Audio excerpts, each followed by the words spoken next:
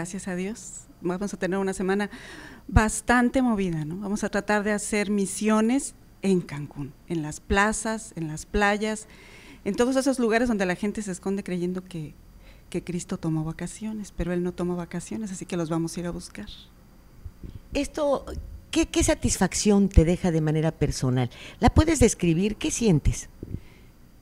Bueno, creo que es un poco difícil describirla, ¿no? Creo que es, pues no es una satisfacción personal, es una misión que tenemos todos los bautizados, ¿no? De evangelizar. Es la misión que se nos da desde que nos bautizan y todos debemos llevarla a cabo. Entonces, aunque sea un poquito, un granito de arena, ¿no? En mi grupo decimos, con una sola alma que logremos llevarle a Cristo para consolarlo, vale la pena todo el esfuerzo, ¿no? Con una sola. Bueno, una sola cada uno, o en montón una. Pues no son poquitas. Pues las que sean, pero con una valió la pena. Si son muchas, bendito Dios, ¿no? Eso es lo que estamos tratando de abarcar, muchas, muchas almas.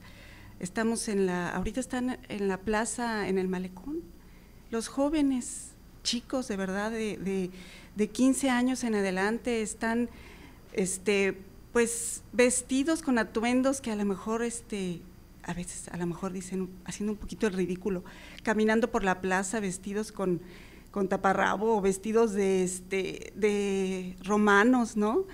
Eh, pero aguantando, viendo a ver cómo la gente los voltea a ver y qué opina, ¿no? Para invitarlos al Via Crucis.